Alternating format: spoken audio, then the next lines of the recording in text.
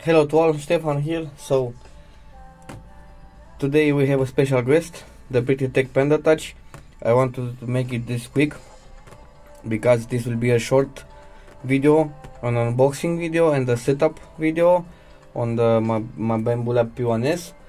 Uh, after this video, and more, let's say a follow-up video will come next days to see how it's performing and so on. But today we are making a, a first preview of the Panda Touch from the BigTreeTech.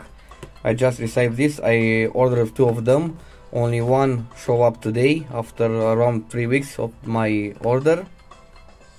But let, uh, let's uh, give it a look.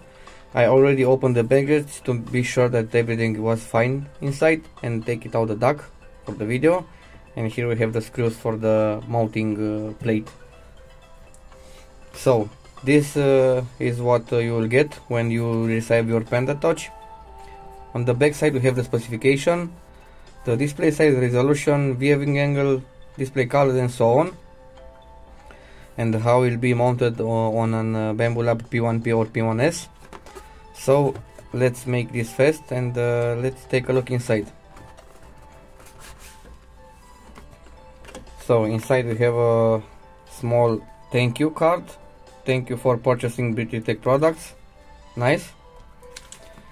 This is an uh, user manual I think yes. Uh, on how to set up and so on. Also you can see they have also the BigTreeTech uh, duck here. And a small sticker from BigTreeTech to stick it where uh, you want it. So let's take a look this is the pad. And here we have the accessories box. Here uh, we will find the stand that uh, will be uh, glued down with this uh, adhesive to your P1P or P1S and the USB-C cable for uh, charging up and power the device. Let's put this here let's make some room here. Let's take out the Panda Touch. I don't think we need the manual but uh, we'll see later. So uh, don't be don't be scared. Uh, this is fingers from uh, fingertips from me. Uh, on the screen we have a protector screen and we can peel this off to have a nice uh, no scratch screen. On the back side uh, also this is the magnetic stand let's say. This will be mounted here with the screws included in the package. And uh, this will be put on your printer and uh, the, the, main purpose of this one is also the, let's say the second purpose of this it's uh, as a mounting plate with uh, magnets and also the the powering and charger device. As you can see on the back we have a PCB with an USB-C uh, USB Type-C connector that uh, giving power through these pogo pins and I, I like this uh, approach of them. And here we have the pad sorry about the quality of the video but uh, we are improving. On the back side we can see the magnets. Another two holes I think for possible another mounting points. Also here we have uh, another two holes for the screw. And here we have the plus and minus. This is uh, where the pogo pins charge the device and power on. Also here we have the switch uh, right now in, I just uh, switched back to the off position the battery and the DC 5 volts when the, you are using this on your printer. And also here we have an uh, I2C connector. This will give us in the future the possibility to mount in our printers and uh, thermometer and hygrometer sensor because the P1P and P1S doesn't have an uh, internal uh, sensor to know the chamber temperature let's say like the X1C and also I think this uh, sensor will come also from Tech. so let's power the device. We'll, we'll power in the battery mode. Was the powering fast. Uh, let's uh, connect that uh, this is the, the the first screen you can see here the language and so on and the, here we have our Wi-Fi networks. Just to know this is uh, working on the 2.4 gigahertz network like our printers from Bambu Lab. So let's uh, connect to our uh, home network. Yeah very fast connection. Let's give it a next. And here we can this is the screen where where you set up your printer.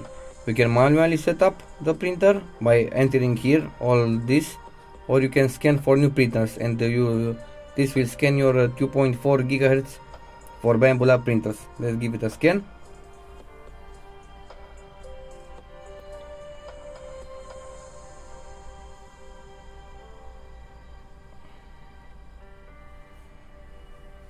right now I have here in this room I have an uh, P1S and uh, an A1 mini.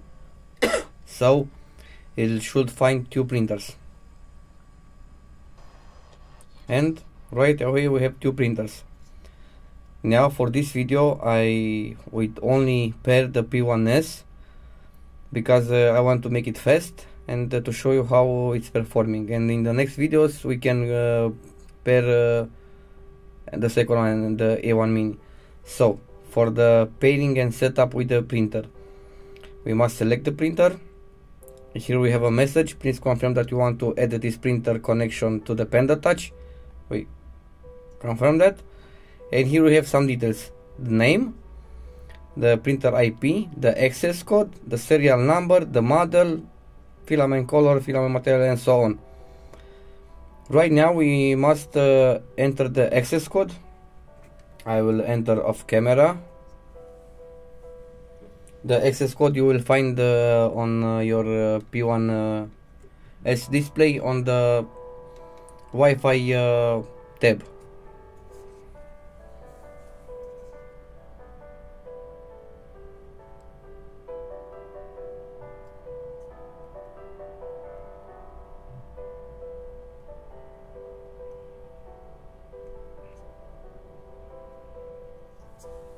okay I just com confirm the access code and we are in.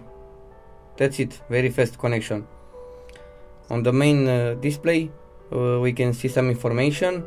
Here we can control the lights the Wi-Fi networks the temperature of the hot end temperature of the heated bed. And here we will see in the future the, the readings the temperature and the humidity from uh, this sensor that uh, will plug here on the other side uh, that is looking exactly like the screen from the X1C we have uh, the home screen. We have another uh, this is let's say setup screen where we can see the temperature and so on. We can set here the temperature the hot end temperature the hot bed temperature and so on the speed the speed of the cooling fans. We can home the printer. And here you can set up your filament. I have right now on uh, ASA filament but also if you had an uh, AMS uh, system you can set up really easy here because on the stock uh, screen of the P1P or P1S you, you can do it that.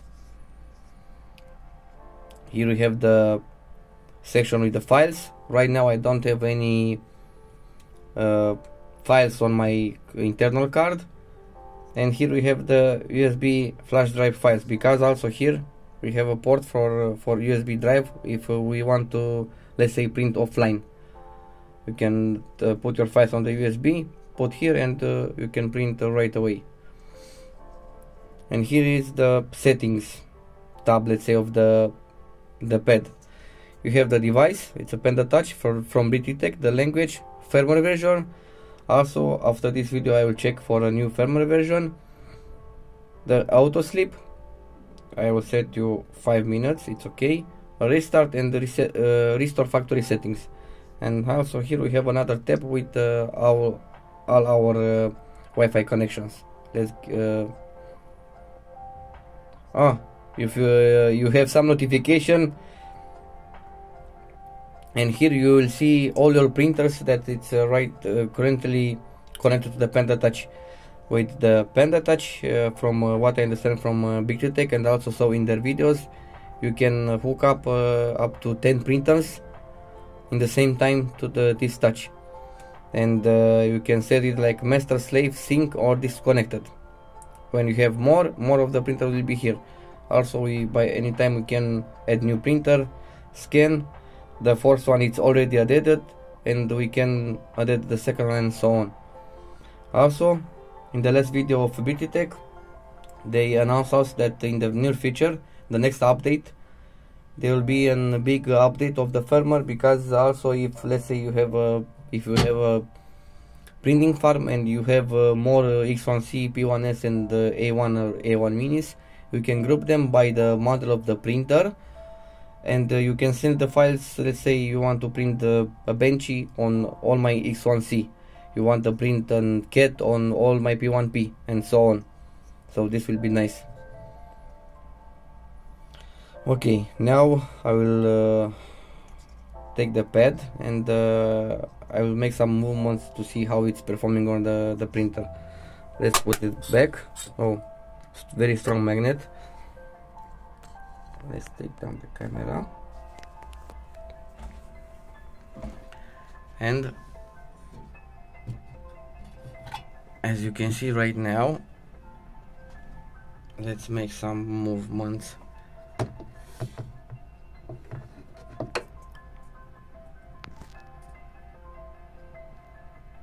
It works right away. With no delay between the touch and the printer as you can see.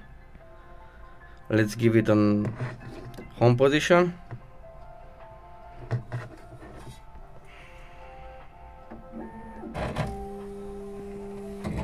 it's working right away. And this we can put it here. We can put it here. There are on MakerWorld some files. We can put it over your uh, current display with a flip printed part or with the included stand. We can uh, mount it right above your printer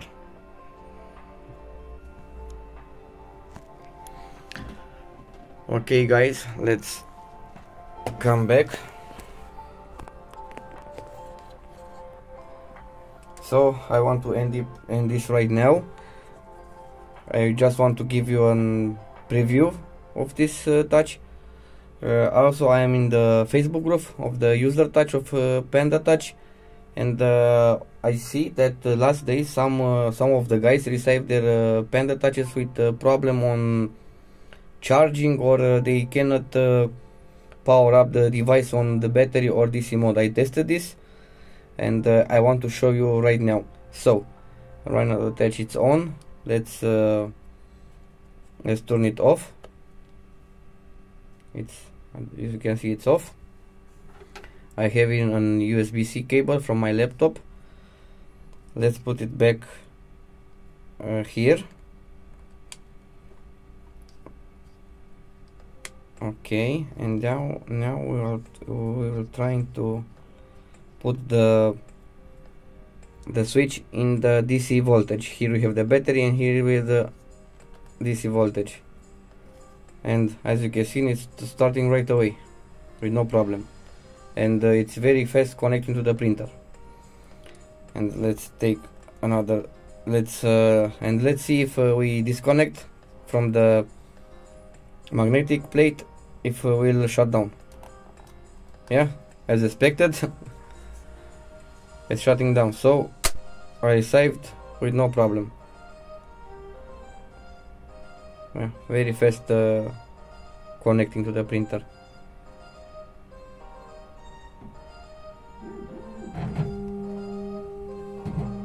Let's uh, turn on the chamber temperature the chamber fan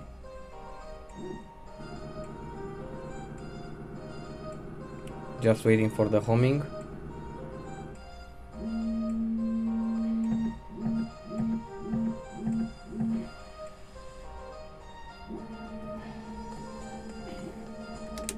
Let's finish it.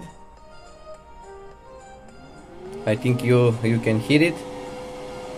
Also we can turn on the auxiliary fan and the part cooling fan and what I really liked is uh, that it's uh, everything it's uh, instant control of the printer. Oh. so works very very very nice. So guys I'm Stefan. This is the BigTreeTech Panda Touch. This is not a sponsored video. I paid uh, for this with my money. I have a second one second one on the way. And thanks for viewing this happy printing and this, please subscribe. It, it helps me a lot. And if you like this type of videos I have a lot of content in the next uh, few weeks. And uh, if you like and want to support the channel please uh, see the membership uh, uh, tab from uh, for my youtube channel. Thank you and happy printing